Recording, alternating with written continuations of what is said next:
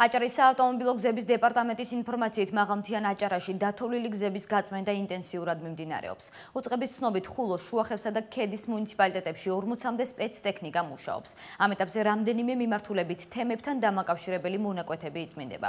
დეპარტამენტის ინფორმაციით მაღალი გამოვლობის ავტოტრანსპორტის გადაადგილება ყველა მიმართულებით თავისუფალია.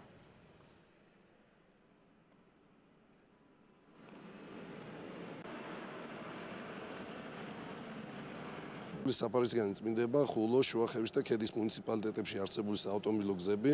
გაწმენდის სამუშაოებში ჩართულია სრულად მობილიზებულია ჩვენი ტექნიკა. ქედის მუნიციპალიტეტში დღის განმავლობაში დასრულდება სრულად ყველა საავტომობილო გზის გაწმენდა, ხოლო შუახევის და ხულოს მუნიციპალიტეტებში პირველ ეტაპზე მიმდინარეობს ცენტრალურ თემებთან დამაკავშირებელი გზების წმენდითი სამუშაოები, რის შემდეგაც გაიწმინდება შიდა საავტომობილო გზები. დღის მდგომარეობით ყველა მიმართულებით გზები გახსნილია, მაღალი გამოვლობის მანქანების გადაადგილება შესაძლებელია თავისუფლად. თუმცა მუშაობა აქტიურად მიმდინარეობს, მუშაობს როგორც აჭარის საავტომობილების დეპარტამენტის ტექნიკა, ასევე ჩვენი ორი ერთეული ტექნიკა. დღის ბოლომდე გაიხსნება შიდა საუფრთხო გზების, რაც შეეხება ელექტროენერგიას, მინდა გითხრათ, რომ მუნიციპალიტეტის ყველა სოფელს მიეწოდება ელექტროენერგია და აქვე მინდა აღვნიშნო, რომ არანაირი ესე ვთქვათ განცხადება არ შემოსულა მოქალაქეების მხრიდან.